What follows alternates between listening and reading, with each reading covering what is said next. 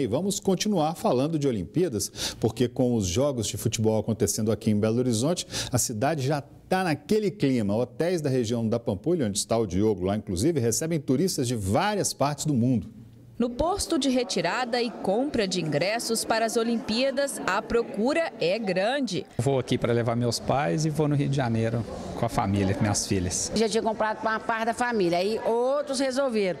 Terceira vez que eu venho aqui para poder tentar comprar. O Mineirão já abriu as portas para receber os Jogos de Futebol Feminino e Masculino das Olimpíadas Rio 2016.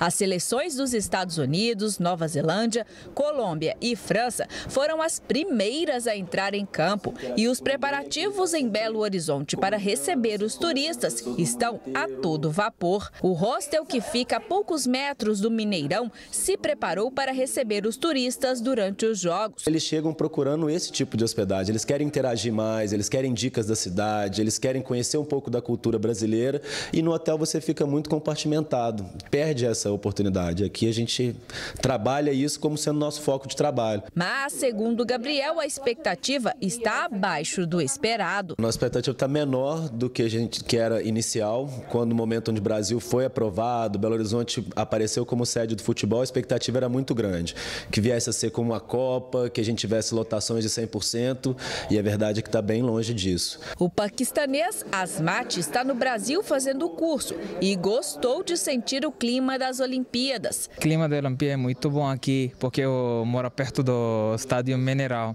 So, é muito boa oportunidade para mim, pra, eu gosto do futebol. So, aqui para mim é muito boa oportunidade vi uh, é, melhor time do mundo uh, uh, aqui no Mineral. No Brasil, há uma semana, a colombiana Andréa não gostou de ver o time perder de goleada para a França, mas continua na torcida. Colômbia! Colômbia! Ah!